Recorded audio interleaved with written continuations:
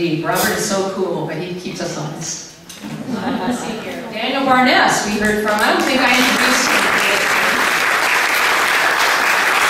We have heard a lot from Daniel Barnes, as well as Dan Gonda playing flute and saxophone today. And we're going to hear a little more from Dan Gonda right now, along with Kat Hasibe.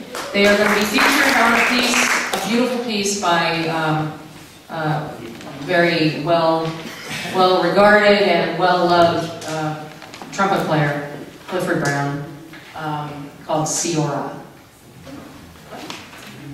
Oh, I'm sorry. No, it's Lee Morgan. Lee Morgan, Clifford Brown. Sorry. Those are two fantastic trumpet players that are from the same era, and I, I often mix them up, and I just did. Anyway, uh, Lee Morgan, Ceora.